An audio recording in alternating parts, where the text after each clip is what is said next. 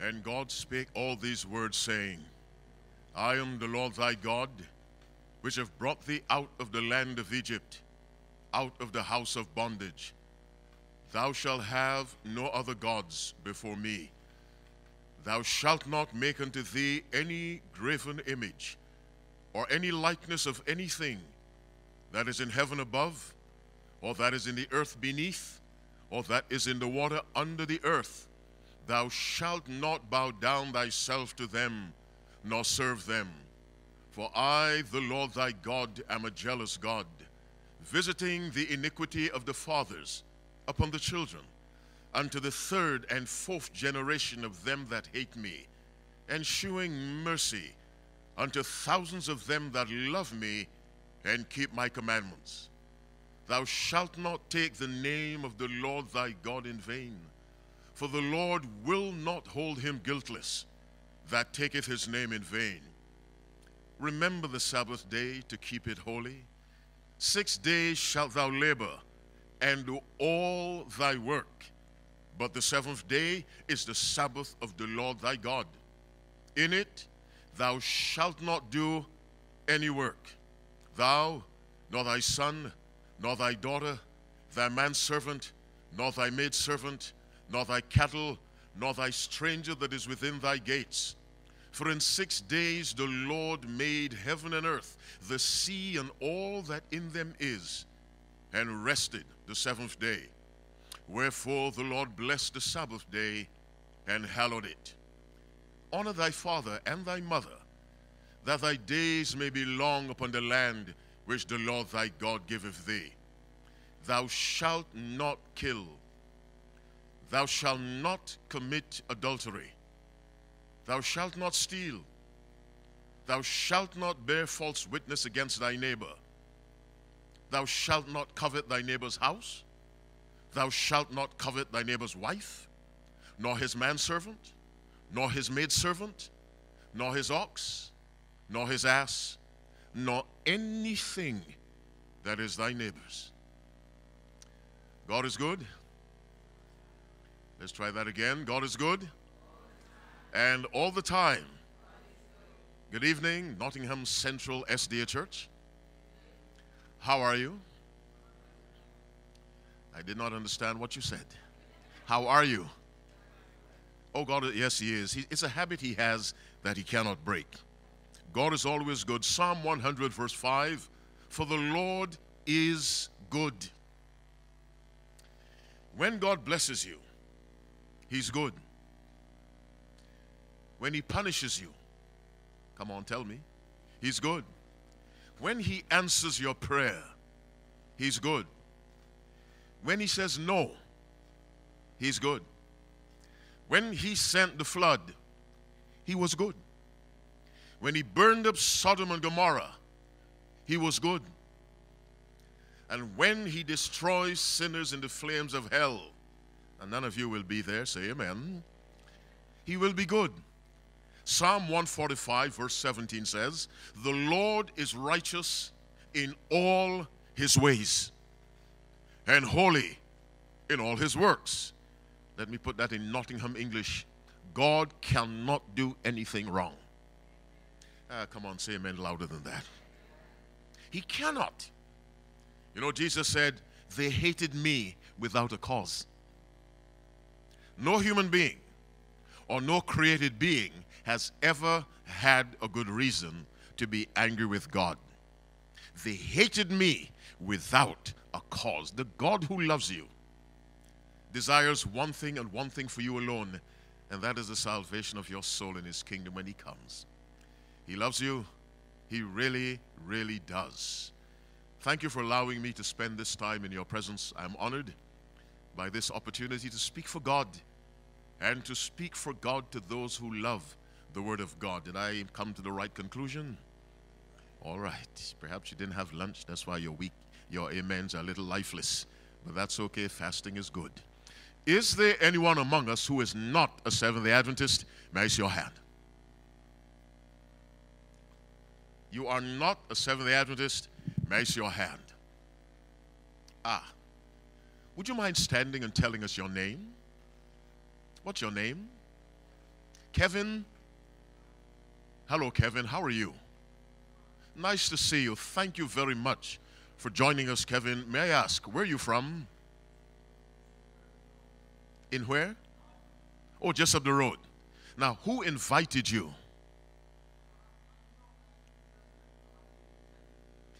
Or oh, you come regularly, but not a confirmed member? Not yet. We must speak by faith. Kevin, thanks for coming. May the Lord bless your life, bless your health, provide your needs, bless your family, and save you when He comes. Say amen for our guest who comes regularly. Anyone else? You're not a Seventh day Adventist, you're visiting. All right. Our subject for this evening God loves the world, not worldliness. What did I say? Ah, come on, I know, I know you heard me. What's the subject for tonight? Not worldliness. Before I begin, let me warn you nicely. I'm an old fashioned preacher. Can this thing be raised? I keep bending over. And I don't want to leave with a stiff neck. Let me see. Oh, oh, we have an expert? All right. Thank you. What's your name? Murray? Moranga? Okay, I thought that was an herb. Okay, Moranga.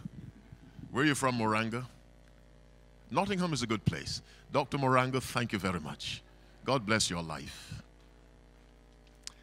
What was I saying before Dr. Moranga helped me out? I'm an old fashioned preacher. I like Bibles.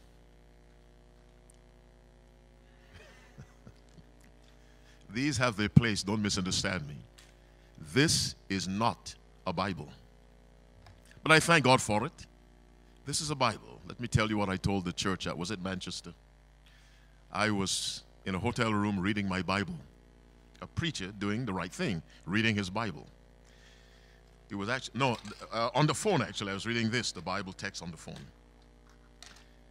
On the bottom of the Bible, an app uh, popped up.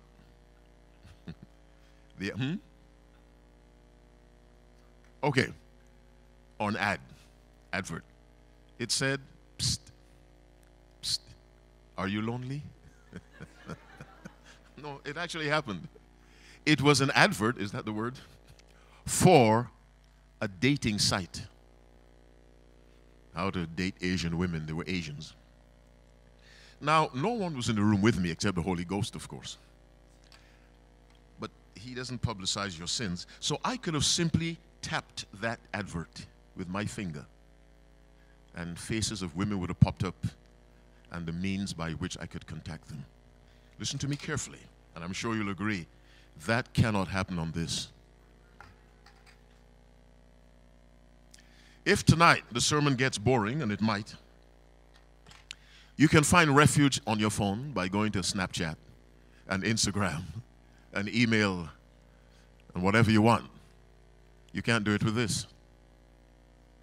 So this comes with how many temptations? None. This come with endless.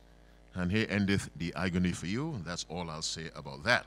Now, second favor I ask, while I'm speaking, pray for me and say, Lord, put your words in that man's mouth.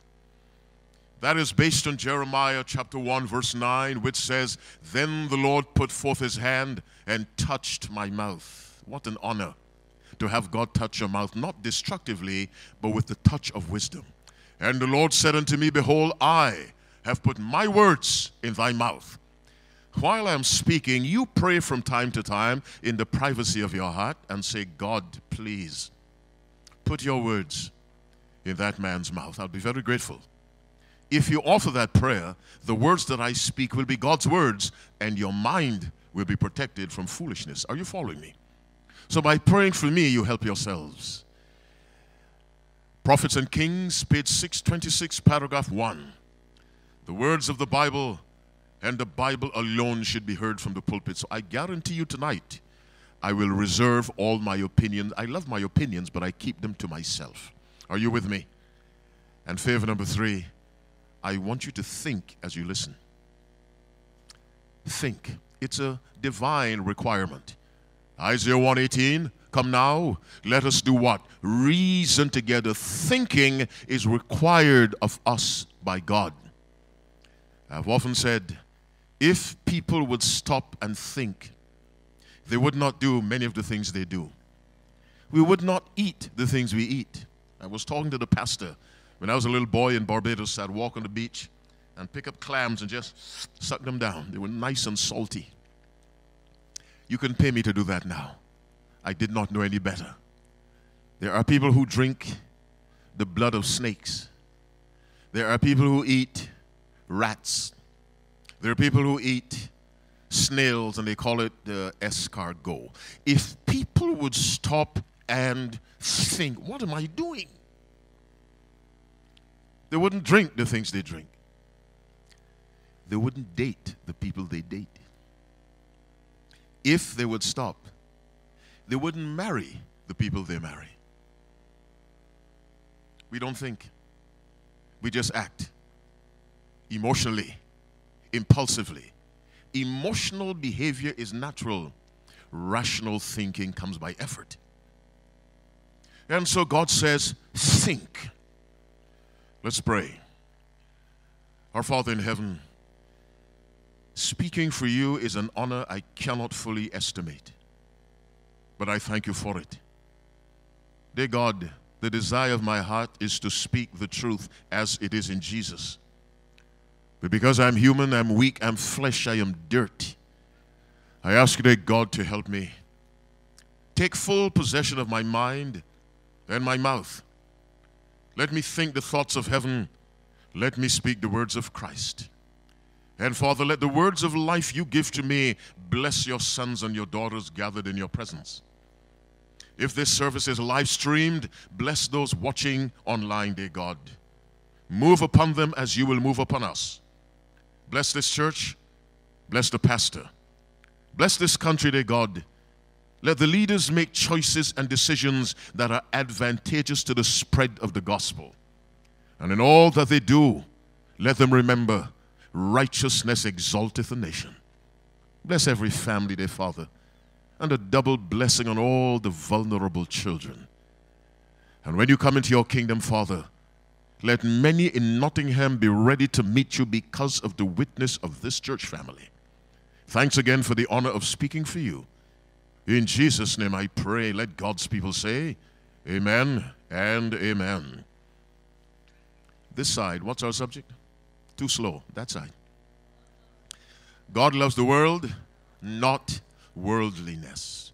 Let's go to Revelation 12.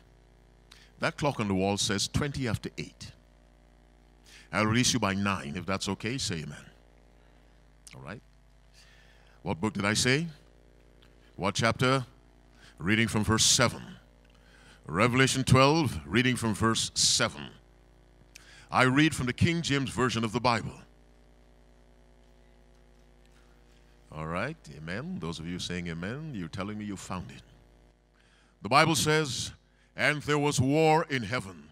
Michael and his angels fought against the dragon. And the dragon fought and his angels and prevailed not. Neither was their place found anymore in heaven. Verse 9. And the great dragon was cast out, that old serpent called the devil and Satan, which deceiveth, read with me now, the whole world. He was cast out into the earth, and his angels were cast out with him. A crisis began not on the earth, but in heaven. Sin began in heaven. Now, our subject is God loves the world, not worldliness. Keep this in mind. Because of sin, Satan and his angels were cast out.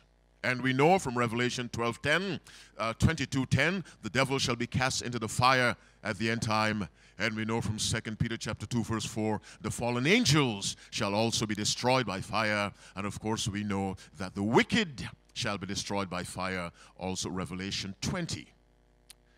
Now, Revelation 20:10, I should say, the dragon shall be cast into the lake of fire. Revelation 20:10. Okay. When Satan and his angels were cast out, that created a vacancy in heaven. Now, my purpose tonight is to get you to understand what God has in mind for your life. When you understand what God has in mind for your life, the attractions of the world will lose their beauty. With this vacancy in heaven, and God is not a God of vacancies. Listen to the quotation from the servant of the Lord, and to whom am I referring? Yes, God bless you for saying that. She's becoming increasingly unpopular. I hope that's not the case in this blessed tabernacle. Conflict and Courage, page 21, paragraph 5. What did I say? That's not what I said. I didn't say. Mm, mm. I said conflict and courage, page 21, paragraph 5. What did I say?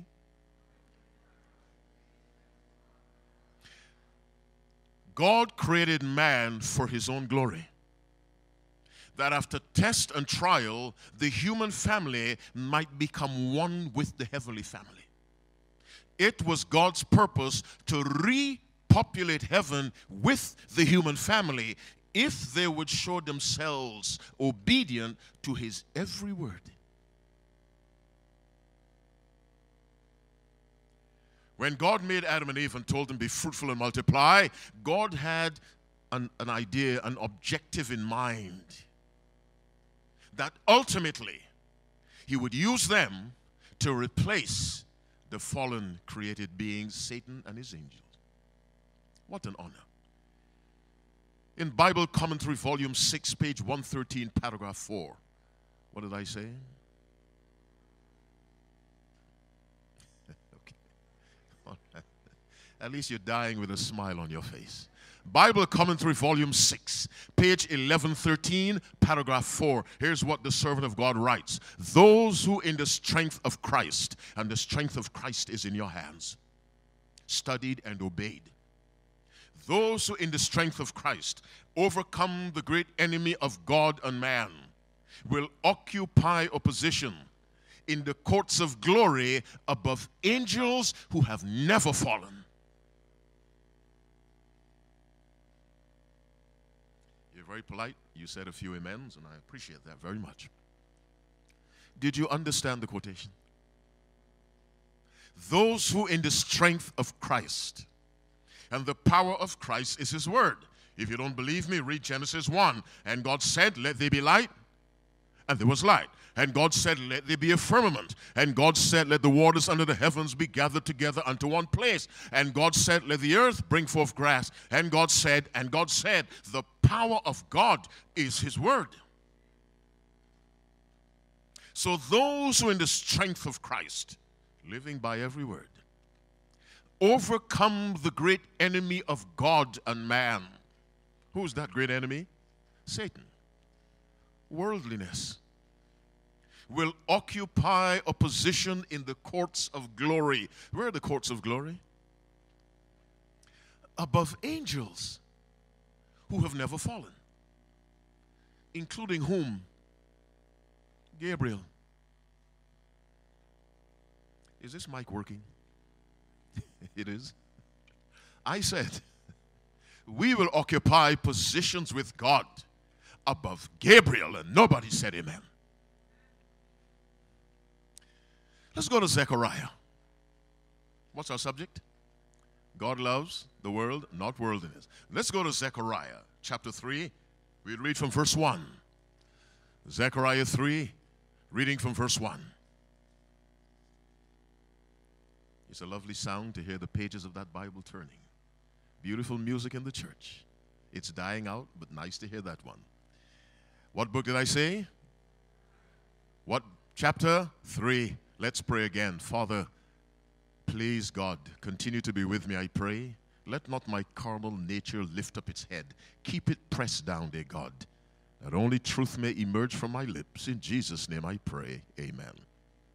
And he showed me Joshua the high priest standing before the angel of the Lord and Satan standing at his right hand to resist him. Joshua, Zechariah has a vision and he sees Joshua as a representative of Israel. And the Lord said unto Satan, The Lord rebuke thee, O Satan, even the Lord that hath chosen Jerusalem rebuke thee. Is not this a brand plucked out of the fire? Now Joshua was clothed with filthy garments and stood before the angel. And he answered and spake unto those that stood before him, saying, Take away the filthy garments from him now. The angel of the Lord is Christ. And he answered and spake unto those that stood before him, Who are those that stood before him? We have to identify that group so that what we're coming to in verse uh, 8 will have impact. He answered and said, This is the angel of the Lord Christ speaking, and he speaks to those who stood before Joshua. Take away the filthy garments from him. And unto him he said, Behold, I have caused thine iniquity to pass from thee, and I will clothe thee with change of raiment. And I said, let them set a fair mitre upon his head. The mitre was worn by the priest, and we are a kingdom of priests. Can you say amen? And they set a fair mitre upon his head and clothed him with garments, and the angel of the Lord stood by. That's Jesus Christ. And the angel of the Lord, verse 6, protested unto Joshua, saying, Listen carefully.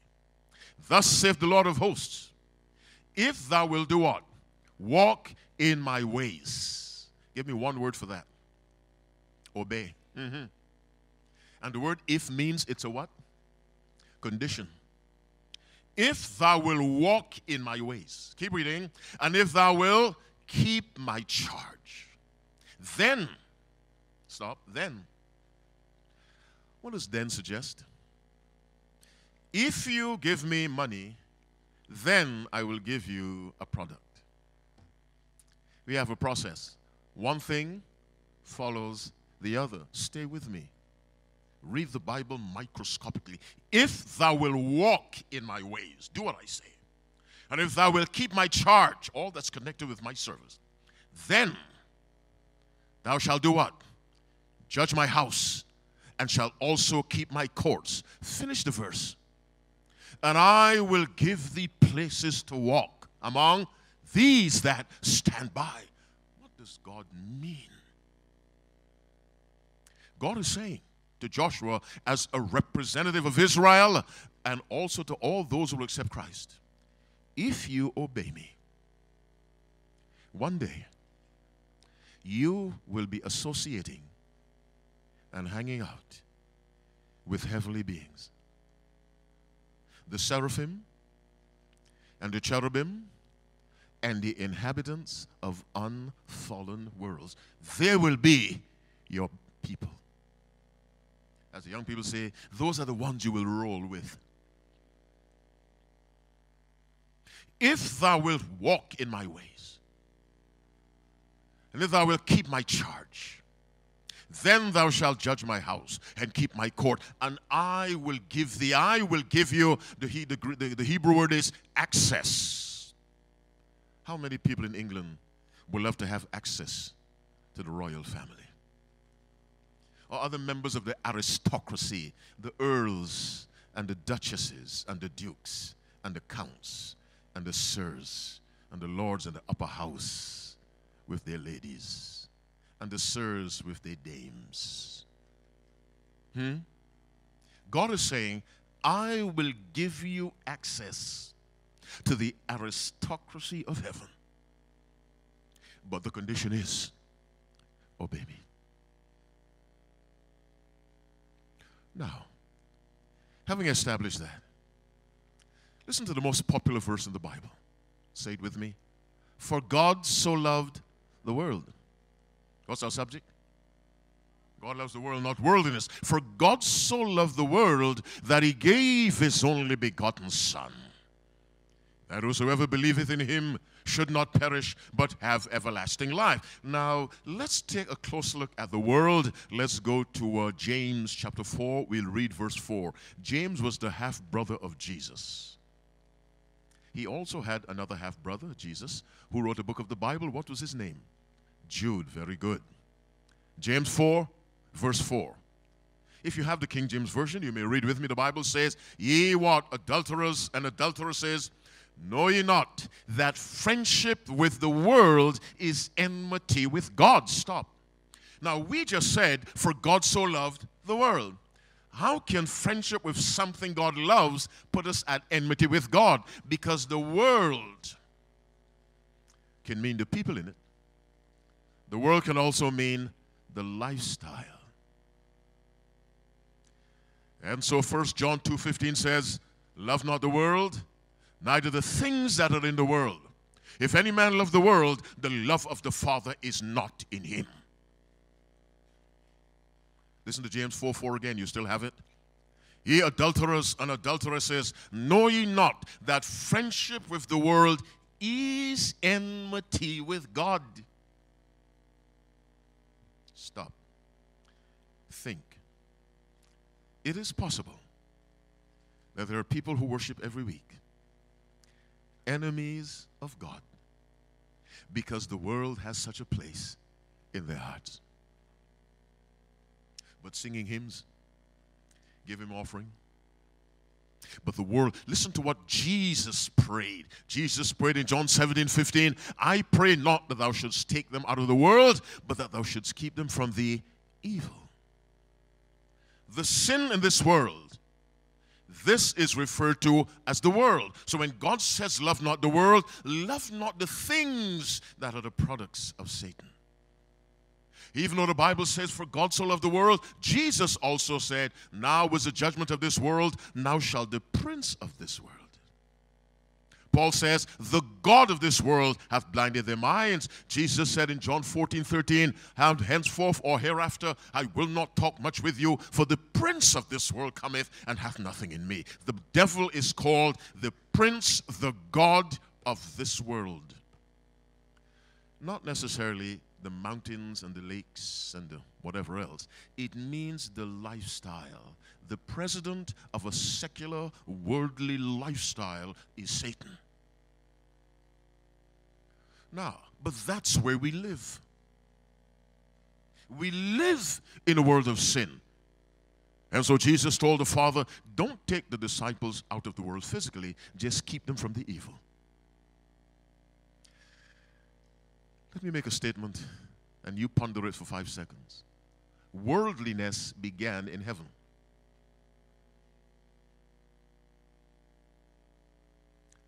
The system of Satan began in heaven.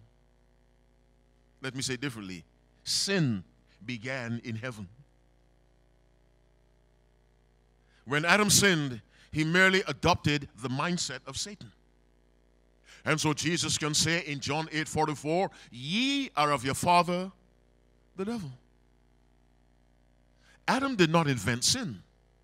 Sin was originated by Satan and it happened in heaven. So worldliness began in heaven and then came down. If God cast it out of heaven, he can't take it back. Are you listening to me? Now, for those of us planning to go to heaven with Jesus Christ, we must get what? Come on, we must get the worldliness out of us. Because it will disqualify us for access to those that stand by. The aristocracy of heaven. I'm telling you that God's intention for your life is to so fit you that when he comes, you will qualify to associate with unfallen angels, with face to face with God himself. When that becomes a reality on which we contemplate every day, the attractions of this world will lose their beauty. But the attractions of heaven can also lose their beauty. Listen to these words. Signs of the Times, uh, Review and Herald, January 24, 1888, paragraph 4. Let me give it to you again. Review and Herald, January 24, 1888, paragraph 4. I hope someone is making the decision to write these references down. Listen carefully. I said, by contemplating what Christ has in store for us, the attractions of this world will lose their appeal to us. The opposite can also happen. Here's what the servant of God writes If your thoughts, your plans, your purposes are all directed toward the accumulation of the things of earth. Your anxiety, your study, your interests will all be centered upon the world. The heavenly attractions will lose their beauty. The glories of the eternal world will cease to have the force of reality to you.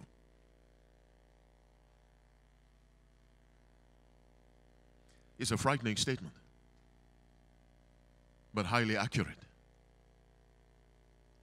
We tend to gravitate towards that which occupies our minds. Somewhere I read, where the mind goes, the feet eventually follow. Are you listening to me? Where the mind goes, the feet eventually follow. And so the servant of God tells us if our focus is this life, we will lose interest in the life to come. God loves the world, not worldliness. But how can God get worldliness out of us? Because we're born that way. Let the Bible describe it for you. Romans 8, verses 7 and 8, our subject God loves the world, not worldliness. Romans 8, verse 7 and verse 8. It's 25 minutes to 9. Do you have Romans 8, 7 and 8? If you have my version, you may read with me because the carnal mind is enmity against God. Stop. Give me a replacement for the word enmity hatred, mm-hmm. opposition. The Bible says we are born not liking God. And that is evidenced by our attitude towards His Word. Now, don't look so depressed. There's good news.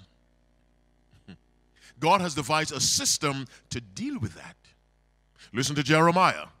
Can the Ethiopian change his skin? Or the leopard his spots?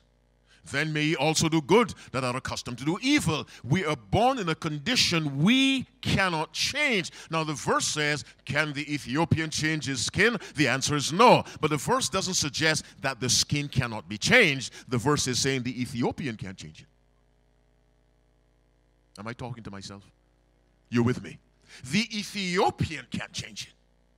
The leopard cannot change his spots, but the change can be brought about by a higher power. Name that power Jesus Christ. That's why he came to qualify us to fill those vacancies. If he takes us back there in our condition, there'll be a second casting out. Are you with me? He cannot take back what led to the initial expulsion. And so he works feverishly, indefatigably to remove the world from us. And by so doing, qualify us for a place among angels that have never fallen, a place that will be ours throughout the elastic endlessness of eternity. My brothers and sisters, are you allowing Christ to get the world out of you? How is that done? To get the world out, something else must come in. What's that? Think of the world and give me the opposite heaven. In other words, to get the lifestyle and the principles and the standards of the world out of my heart, I must fill it with the lifestyle and the principles and the standards of heaven. One takes the place of the other, they do not occupy the same space. And how do I fill my heart with the principles of heaven? I give that life to Christ. And let His presence, you see, when Christ comes, He brings heaven. Somebody say amen. when Christ comes, he brings heaven. By that I mean, he brings the lifestyle, he brings the thinking, he brings the mentality, he brings the environment, and he brings it here. And with that up here, it is evidence in our outward behavior, in our speech, in our conduct. And so Christ can say in his prayer, They are not of the world even as I am not of the world. Let me review. There was a gigantic expulsion of living beings from heaven because of a rebellion led by Satan, who used to be called Lucifer. Angels followed him. and they were thrown out. Not immediately, after a while, because God is a long suffering God. He did not become long suffering only after we sinned on earth, He has always been long suffering. You can see that in His dealing with Judas. You read John 13. God gives clue, Christ gives clue after clue to Judas, turn back. He that gives me the sup after it's dipped. He, he just drops some clues and Judas never turns back. Well, the Bible says, Have I not chosen you 12? One of you is a devil. Are you with me? So, in dealing with Judas, Jesus is dealing with a devil. Well, all devils are the same. They have different degrees of power, they're the same. Then, by looking at how patient he was with Judas, we can work back and conclude reliably he must have been patient with the original Judas. Christ comes to change this, to change that. And he gives us his mind. With the mind of Christ, we think the thoughts of Christ. We have the expectations of Christ. We have the perspective of Christ. We view the world as we ought to view the world as something to avoid, not physical, but its standards and its principles. With the mind of Christ, we live in the world physically, but at every other level, we live as beings that actually belong in heaven. God loves the world, not worldliness. Worldliness expresses itself in many ways. The way we eat, the way we dress, our conversations, our recreation, the way we spend money, the way we handle our enemies, the way we respond to difficulties and setbacks. The world expresses itself in everything we do. When I say we, I mean those who don't know Christ. Heaven expresses itself the same way in our dress, in our diet, in our speech, in our dating behaviors, in how we run our families, how we educate our children, how we deal with opposition. Heaven or hell expresses itself through us. And Christ has come to ensure that the expression through us is the expression of heaven. Now, you may say, well, how? This is impossible. It's not impossible. One of the challenges we face, we are so surrounded by sin, it is difficult even for Christians to believe that total victory over sin is possible. It just makes no sense. When the angel Gabriel came to Mary and announced that she would be pregnant, in verse 34, then said Mary to the angel, How shall this be?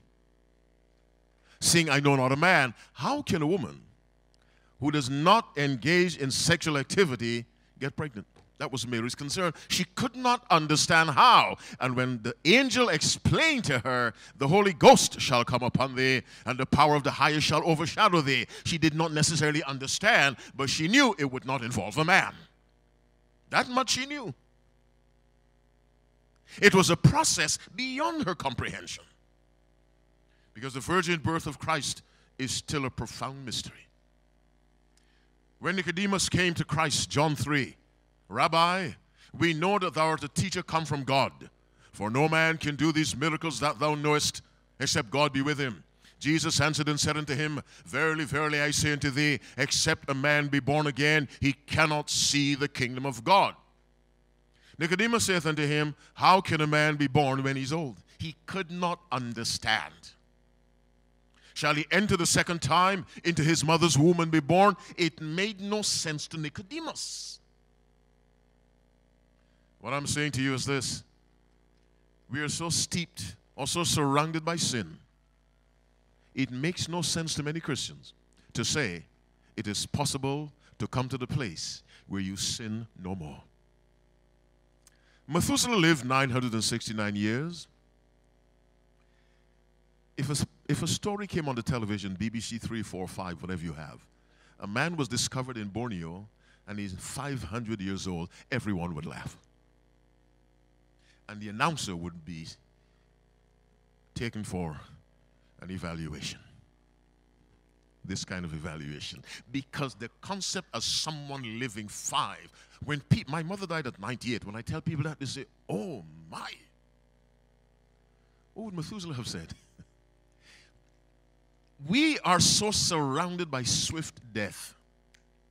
Even the Bible acknowledges it, three score and ten, that's it. If by reason of strength they be fourscore years. There is no nation on earth whose lifespan is 92 or 93. It's the high 80s, some 40s, 50s. The US is maybe 70s for men, low 80s for women. I know what it is in Great Britain. It makes no sense to us. That's why we must live by faith. Because it doesn't always make sense. But we trust the word of God. When Jesus told Mary, or the woman taken in adultery, John 8, go and sin no more. He did not say, go and sin less. He did not say, go and commit smaller sins or commit them more infrequently. He said, go and what? Sin. Stop sinning. He also told that to a man, by the way. Jesus was fair with both genders in John 5, verse 14. Afterward, Jesus find him in the temple and said unto him, Behold, thou art made whole. You remember the man at the pool of Bethesda? Sin no more. God makes no demand for which he does not provide power to carry it out. My brothers and sisters, there is power to get the world out of us. And that power is the power of Christ in his word. The power of Christ in his word. Nothing else will change the mind. God loves the world. He does not love worldliness. God loves me. He does not love my sins. When Christ comes the second time, he is coming to destroy sin. Unfortunately, he will find sin in people.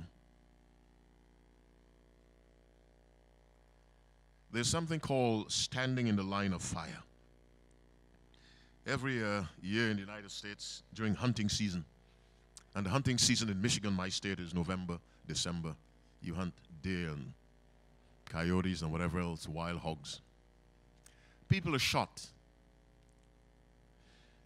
The hunter was pointing at a deer, and some other hunter 500 yards away maybe walked across just as he pulled the trigger, and he came into the line of fire. Now, God is pointing his high powered rifle at sin. Are you with me? He must pull the trigger. Justice demands that he pull that trigger, but he's aiming at sin. But if the sin is in me, and so God sent Jesus to tell me, move. Get out of the line of fire because my father must pull that trigger.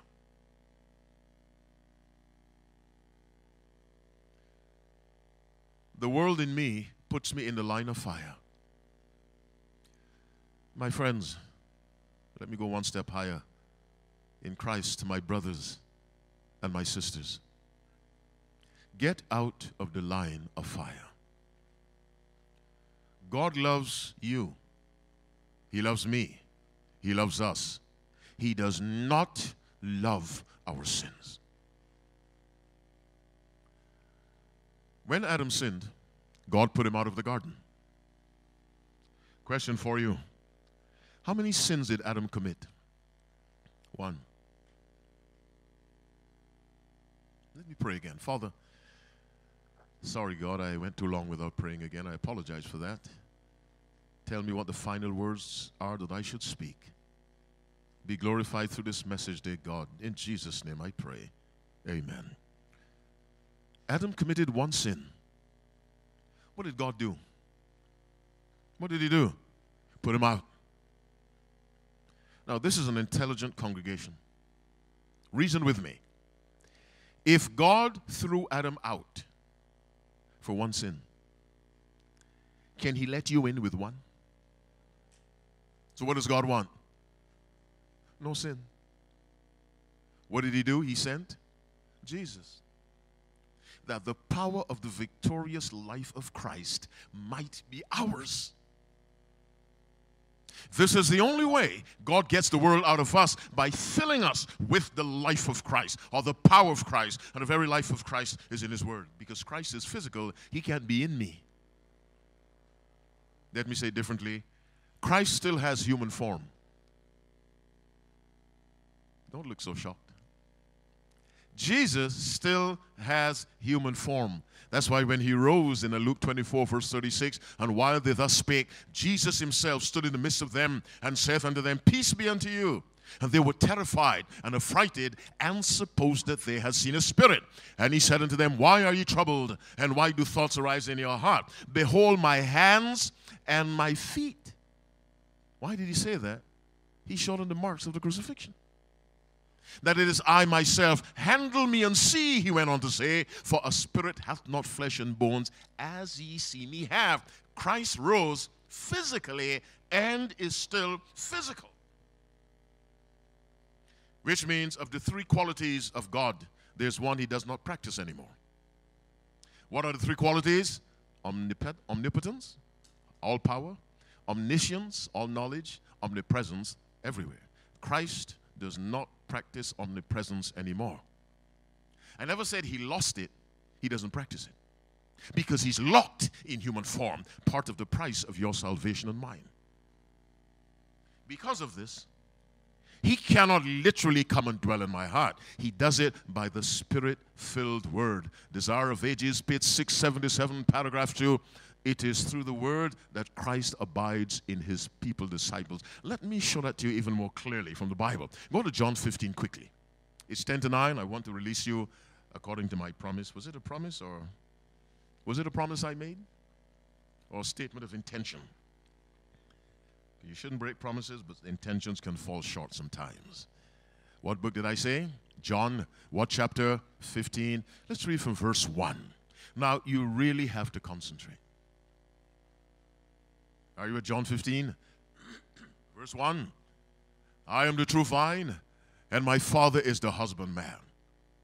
Every branch in me that beareth not fruit, he taketh away. By the way, when you leave the church, you're heading in the wrong direction.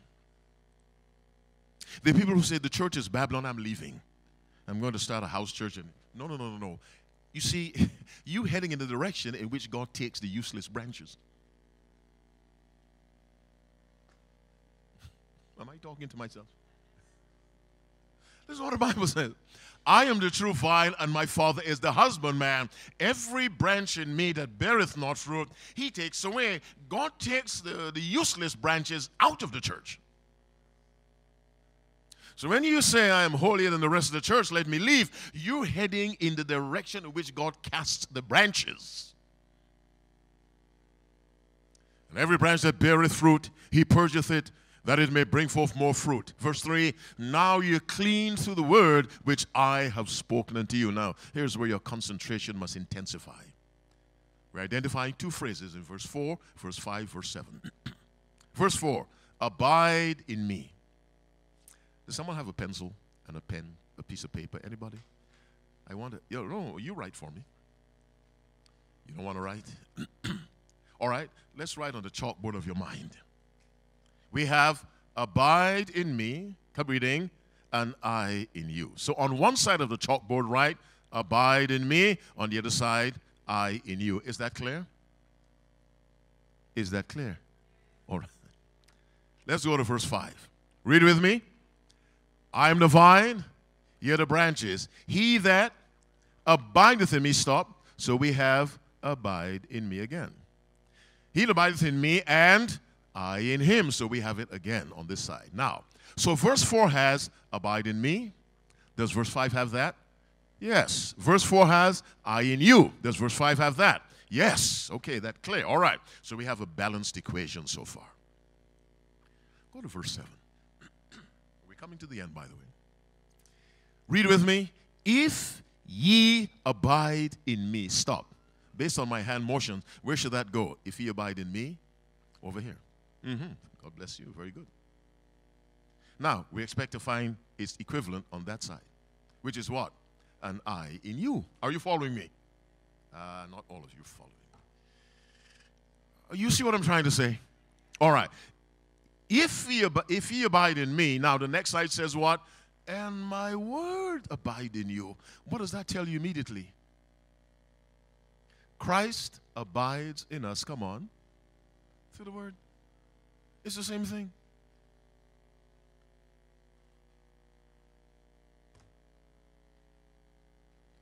This is the only way the world can be removed. because the abiding of Christ is the abiding of heaven. It is the abiding of righteousness. It is the abiding of holiness. It is the abiding of sinlessness, which is progressively expressed.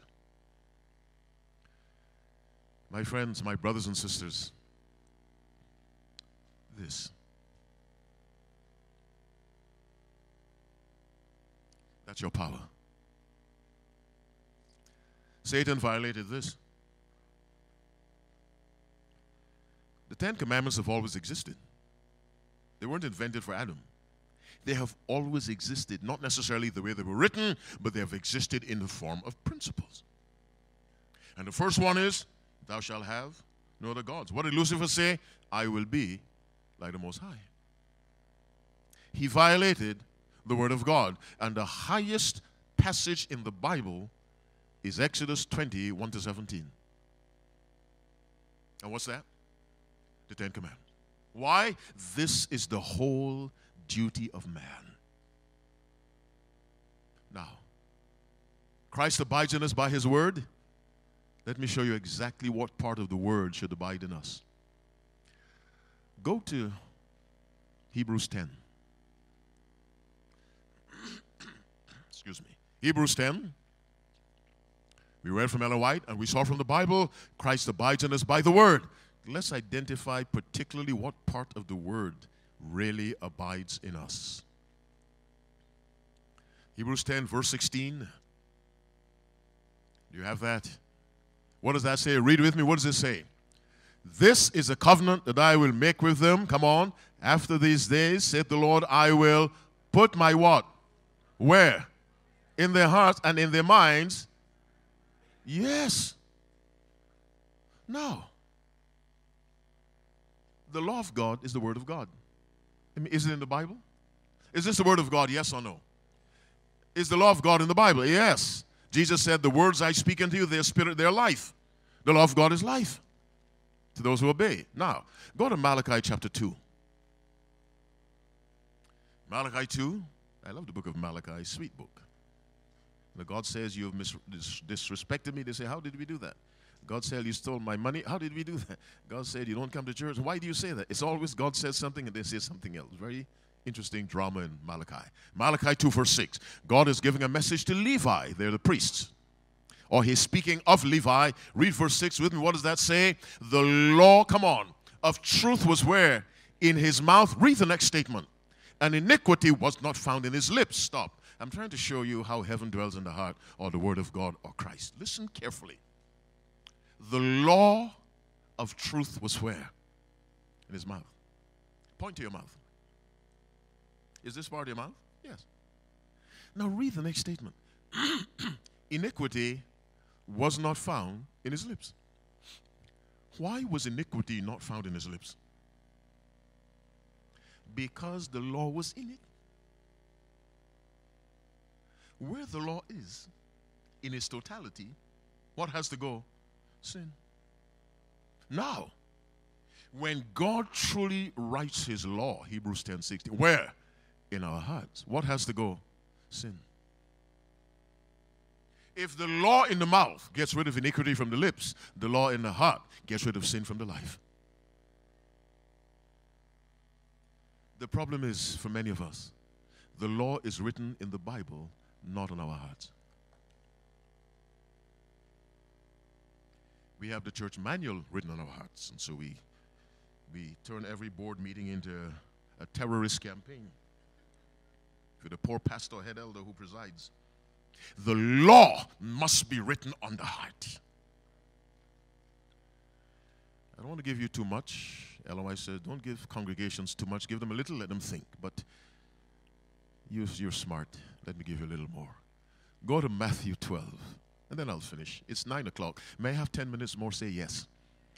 All right. God bless you for that. Matthew 12, let's read from verse 34. And then I'll, I will keep my word, I promise. You have Matthew 12, 34? Now read microscopically. Read with me. What does it say? Oh, generation of vipers. Carefully now. How can ye, being evil, speak good things? For out of the abundance of the the mouth speaketh. In other words, what comes out of here originates in here. So if the heart is evil, it can only produce evil. But the Bible says the law of the Lord is holy, just, and good. It is spiritual, it is perfect, it is called righteousness, it's called truth, it's eternal, it's right. Now, if that's what's in the heart of a person, hmm? all nine, all ten, sorry, not nine, all ten, that's all that can come out.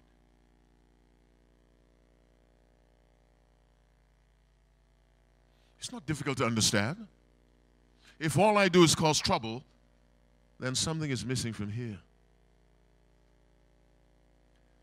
Membership written on your heart does not produce the character of Christ. But don't give up your membership, please. Are you with me?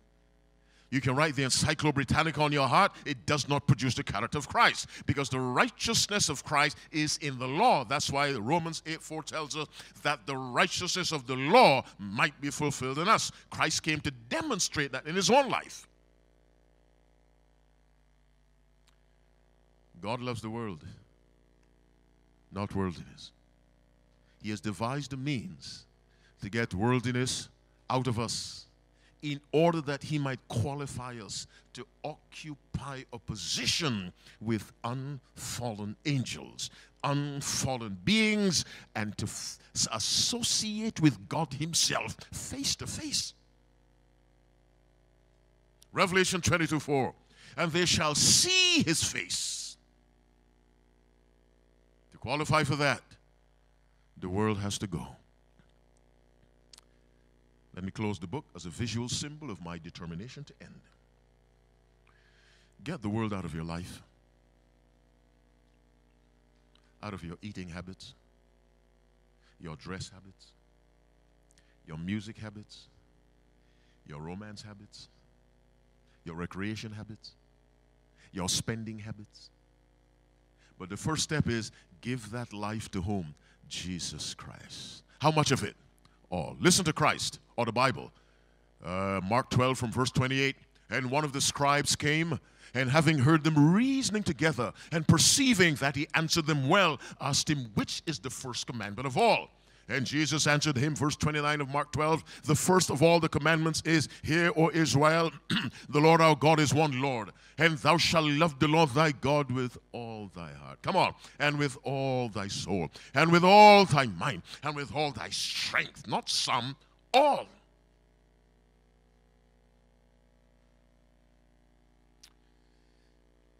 Many of us, we love the Lord our God with some of our heart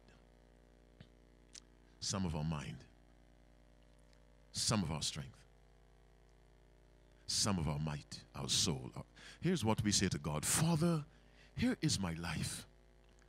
Don't tell me who to date. Father, here is my life. Don't tell me how to dress.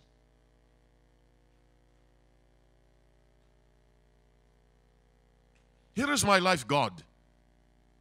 Don't tell me how to eat.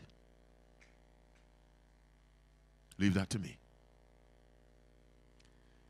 Listen to me carefully. As long as there is an atom of your heart not surrendered to God, it becomes an opportunity for the devil to turn you around. Let me tell you what I told the church last night. In order to save us, you know, Jesus said, all, all, all, all. He wasn't joking. Which means, in order to save you, God needs all of your heart, not the devil. In order to destroy you, he just needs a piece. And we give it to him. Foolishly believing if we give him a piece, but the bigger piece to God, we're safe. Uh uh If you have a Mercedes Benz S Class or Z Class or whatever class, and you see a pinhead of rust, will you say, ah, it's just a pinhead? I'll deal with that uh, in the next millennium. Mm -mm. Because you know, day by day, the pinhead becomes a dime. what do you call it in England? Your little coin. What's it? A pence, okay? Or, and then the pence becomes uh, something, and it becomes a silver dollar. Then it becomes a saucer for your cup of tea. Then becomes a plate. Then becomes a serving tray. And so you deal with that pinhead of rust the instant you see it. What's the pinhead of rust in your life? Deal with it. Take it to Christ, the spiritual mechanic. Let him remove it, thereby removing any opportunity for the devil to interfere with the progress of your life. My friends, God loves the world, not worldliness. God loves you, not your sins. Right where you sit. Confess that sin you've been committing all the time. You know you're wrong. You keep doing it. Confess it to God. Father, take it. You know you are wrong with a capital W. Keep doing it. Tell God you're sorry. Because if you don't, you'll come to the place where that sin looks right. Mm-hmm. As amazing as it may sound, prolonged exposure to sin makes sin look right. Confess it. Tell God, Father, please, I do not want to do this again. Help me. And that's one prayer God will answer. Tell him, Father, my faith is weak. Help thou my unbelief. Ellen White writes, When we pray that prayer, help thou my unbelief, you can never perish. It's not how much faith you have, it's how you use whatever you have. Confess that sin, that besetting sin we carry around like a little poodle, a royal corgi on a leash. Heads bowed, eyes closed. Father in heaven, Help us to understand that we're not saved by church membership. We're not saved by contact with those in high society. We're not saved by the many things we do to keep the church running, as important as they are, Father. We're saved by Christ dwelling completely in the life. We're saved when we're covered by the righteousness of Christ receive and our heart is given to you without reservation. And so tonight, dear God, I've tried in my weak way with this subject God loves the world, not worldliness. To tell my brothers and my sisters that there's a way for them to escape the clutches of the world and allow their hearts to be filled with the atmosphere of heaven in the person of Christ who indwells his word. Dear God, right now, inject into us a dislike, a hatred for sin. The very first promise of the Bible you made, Father, here's what you said. These are your words, dear God, and you don't lie. And I will put enmity between thee and the woman, between thy seed and her seed. You have promised to put hatred in us for the things of the devil. Because of Adam's sin, we're born hating you. You have arranged to create in us a hatred for sin.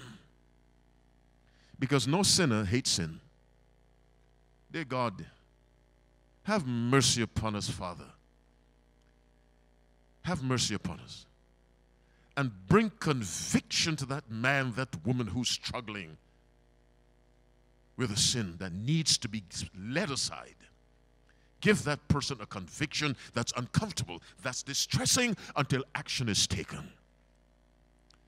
Lord, remind us you love us, dear God, but you don't love sin. And in order to qualify us to occupy the atmosphere of heaven and to walk around with angels and unfallen beings, the sin that led to rebellion in heaven must be removed from us. The worldliness, dear God, over which the devil presides, must be removed from us. Please, God, do that as your people pray and confess those sins they know they're doing and they know they are wrong. Burden them with guilt, dear God. Trouble their conscience. Let it affect their health until they say, Father, forgive me. And their eyes open to the beauty of a clear conscience. Please, God, bless this church, Father. I choose to believe every member of this church in the heart of the man or the woman wants to do what's right in your sight. That's my belief. Help them to do that, dear God. Now, Father, take my puny effort and clarify it through the instrumentality of your Spirit and reapply it to everyone who listened. So that as they meditate on it tonight, lessons will come to them that I was not able to present. Father, thank you for your patience. It seems almost endless. Thank you for being long suffering. Again, I ask you to bless this church, bless the pastor, bless the leadership, Father. Leadership is not easy, God. Moses asked you to kill him because the Israelites were so troublesome. So bless the leaders, Father. Give them wisdom from above, that their leadership may take the earth, the world, uh, the church forward and upward. Bless the conference in which this church is. Bless those leaders. Bless the union in which this conference is, the division, dear God. Bless those who administer this church at the highest levels, particularly Elder Wilson. Ah, Lord, the burden on that man cannot be imagined. Use him.